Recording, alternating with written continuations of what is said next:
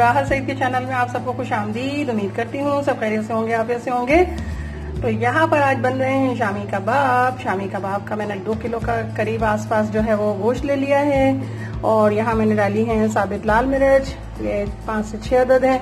इसमें अदरक का मैंने इतने साइज़ का जो है तकरीबन दो इंच का टुकड़ा डाल दिया है, उसे काट लिया है। लहसुन यहाँ पर डाल दिए हैं आठ से दस जो है जीरा डाल दिया है और इसको अब हम प्याज डालेंगे इसके अंदर और फिर इसको हम कुकर को बंद करेंगे ताकि गोश्त हमारा गल जाए और फिर हम बनाएँगे कबाब।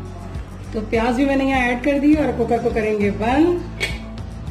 फिर दिखाते हैं आपको, गोश्त हमारा तैयार हो गया है, गल गया अच्छा सा।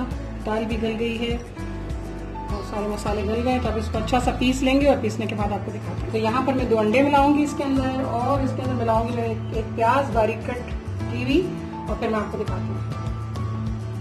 तो यहाँ मैंने प्याज जो है वो बिल्कुल बारीक कट के इस तरह डाल दी है और इसमें दो अंडे भी मिक्स कर दिए हैं। अब इसकी हम अच्छी सी टिक्कियाँ बना लेंगे। और ये देखें इस तरह से मिलाएँगे।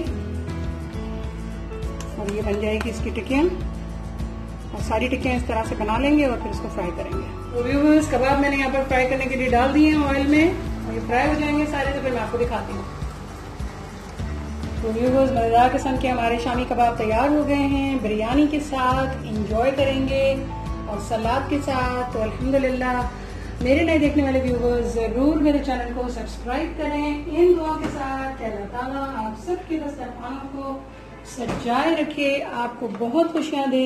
आमीन सुम आमीन। राहत सईद को इजाज़त दीजिए अपनी खसूसी मोमिन हाशिर सईद के साथ। अल्लाह हाफिज।